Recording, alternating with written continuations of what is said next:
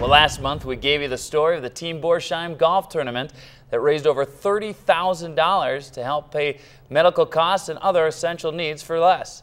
This month we'll take a look back at the game that pushed that recovery fund up to $100,000.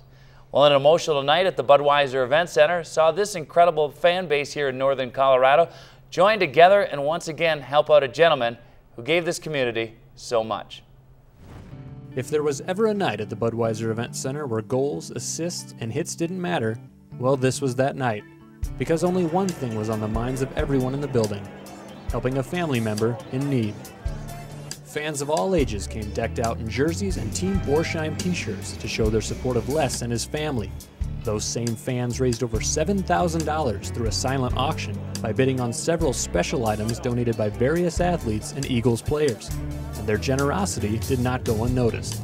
That's the amazing part of this. And seeing people, you know, coming out everywhere, supporting me, you know, just, just all of it's overwhelming.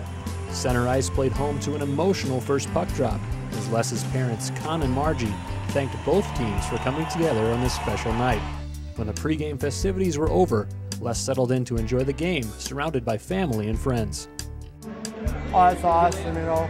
A little weird, you know, uh, a lot different watching it, especially from, uh, from a wheelchair. I mean, it's a lot different, but uh, just nice to be back and hockey started again. So, I mean, it's hard, but it's fun to be back in the rink. The Eagles honored their teammate with a hard-fought 6-3 win over the Rage.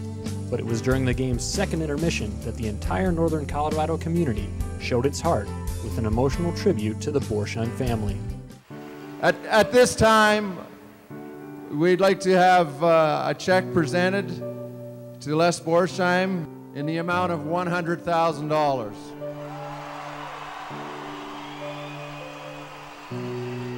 And it's because of you, Northern Colorado, that we're able to do something like this for one of our own. We've found something that brings the communities together, and we all work together for a common goal. And when somebody goes down, we're there to help them. So you should be very proud of yourself, Northern Colorado. I mean, that's just amazing and overwhelming at the same time. And, you know, just so thankful I have uh, support of these, you know, fans still, even though I'm not playing, Northern Colorado and just the Eagles and everyone in the area in general. It's, it's just really overwhelming and, you know, awesome and hard to believe. A night filled with kindness and memories, two things that Les and his family will certainly keep in their hearts as he strides to recover one step at a time. You know, small things will add up to big things. Kind of like in hockey, you do the small things and big things happen. I mean, I mean, just keep on working hard and looking for anything. I mean, miracles, whatever. You know, uh, just keep striving to walk, yes. Let's hear it one more time, number 33,